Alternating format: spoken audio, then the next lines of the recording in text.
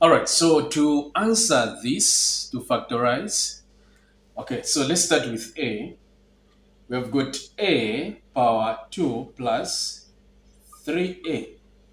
So we must first understand what does it mean when they say factorize? What are they talking about?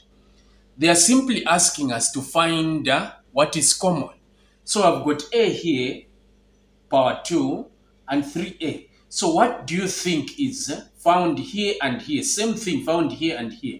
We're able to see A power 2 here and A here, meaning A is here and it's also here. So what we're going to do is to just say equal to, get what is common here, it's A. Put it right here. And uh, write the brackets. Here we shall have A plus a 3. Because this A has gone out. Here we had how many A's? Two of them because of power 2. We have two, we had two of them. And now one of them is outside the brackets, meaning we'll remain with the 1A here. And this is our solution for question A. Okay, so now let's try to work out B. Question B.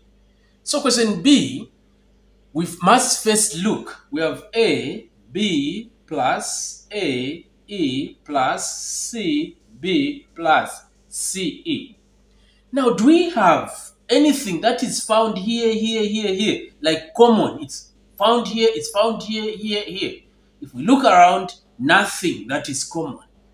Okay? So what are we going to do in this case? We are going to factorize by grouping. We say by grouping. So we're going to put these terms in two pairs.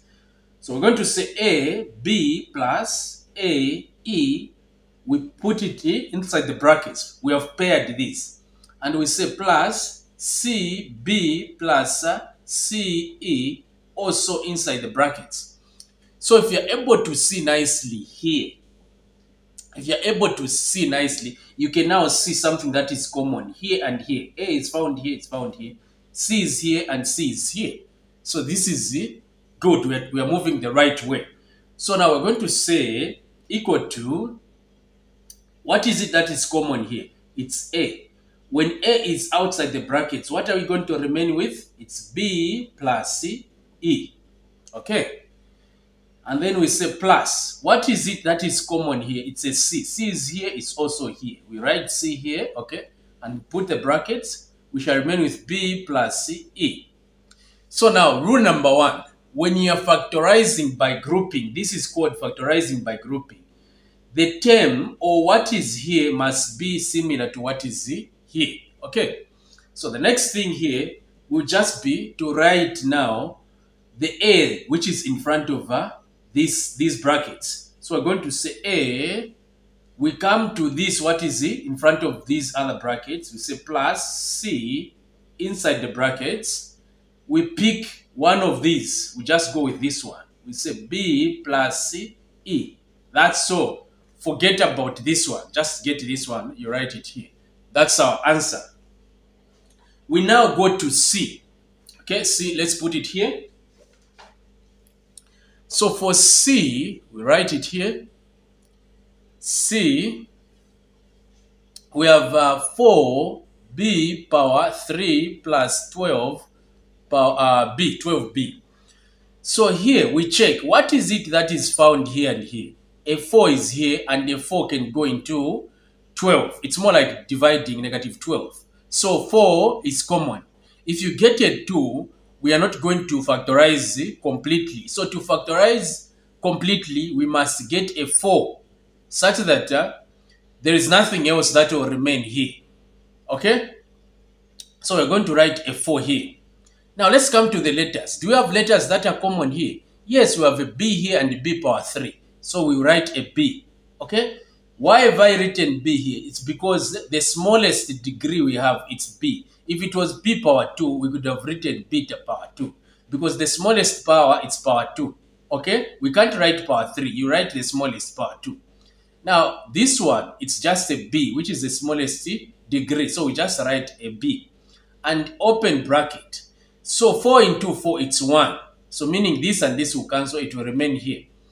What about b into b power 2?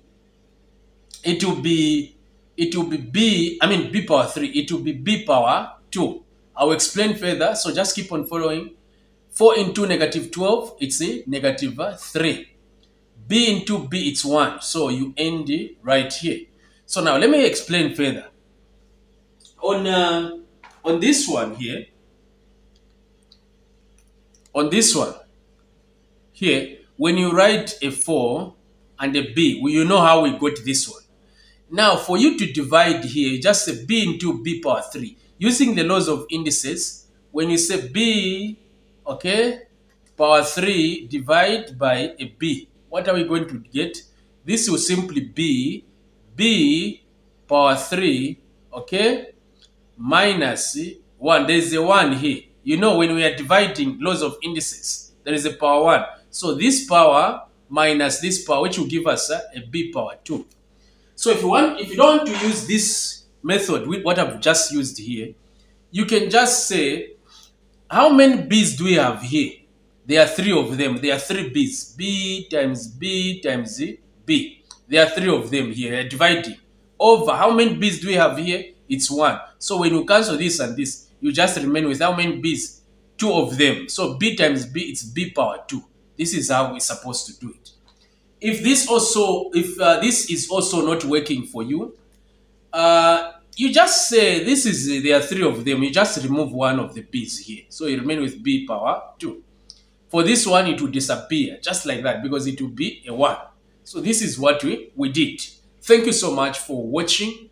For online tuitions as usual we conduct online tuitions. Remember the number to whatsapp or call is right here so that you are not left out Remember, we've started doing tuitions for those who will be writing their GCE exams and uh, internals. So make sure you contact us. Thank you and bye-bye.